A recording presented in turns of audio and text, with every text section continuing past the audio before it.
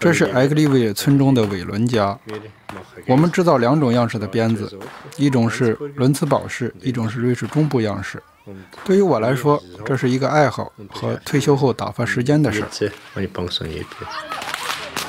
那是什么让甩鞭节这么有吸引力呢？那是因为这是一个传统，因为噼噼啪啪的鞭子声，因为热闹和那种阵势。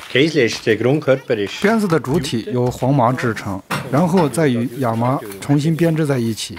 以前人们用大麻，但现在弄不到大麻了，就改用亚麻，但从质地上是没有区别的。在我们这儿，我们喜欢到主街上去甩鞭子，因为那样比较好玩。汽车不得不停下来，如果有人不停车，我们就站在马路中间不走。一开始我不敢甩，但是后来我戴上了钢盔，就不怕了。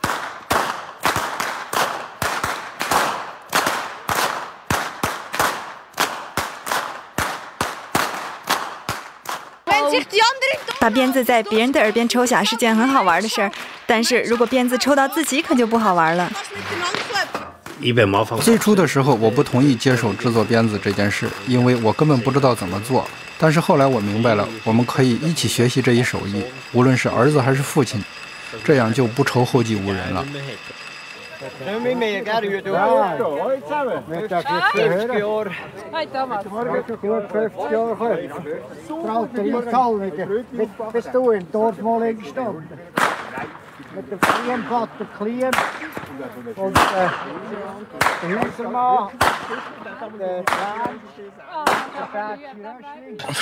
以前我们不看那么多电视，不上那么多网，也不长时间的坐在电脑前和玩手机。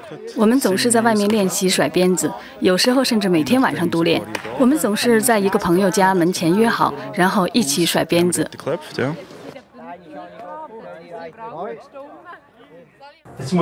我得分成四股，然后拧成一大股。我需要三个这样的大股，才能做成一根鞭子。我现在就把它们拧在一起。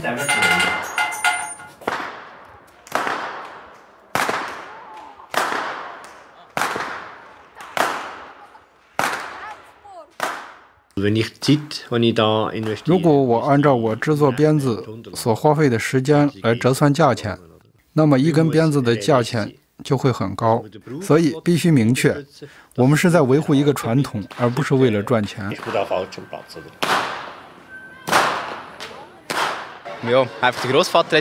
我们的爷爷给了我们第一根鞭子，只是一根木棍，带着一根绳子。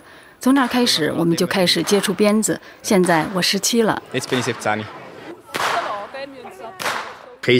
没有任何一家绳索店能制作鞭子。如果能用机器制作，那就省事多了。但是这不可能，因为机器不能做旋转式扭转，没有这样的技术。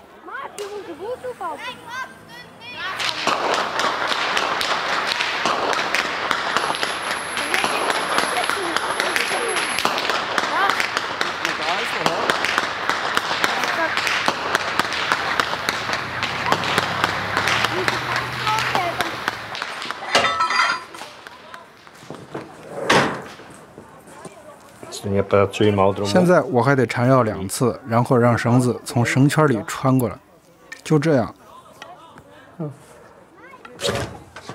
然后剪开，这样就不会再散了。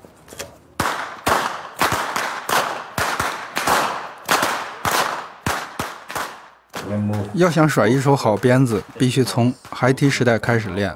我也试过，但是像所有初学者一样，总是抽到自己的头，所以我失去了信心。每个人对鞭子都有一定的恐惧感，这很正常。等我把手里的活干完，咱们就去吃饭。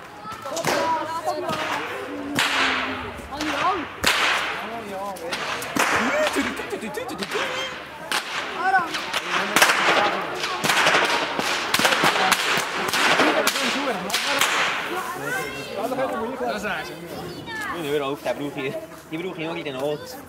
Wer will noch zwei? Das ist peinlich hier, mit dem... Hey,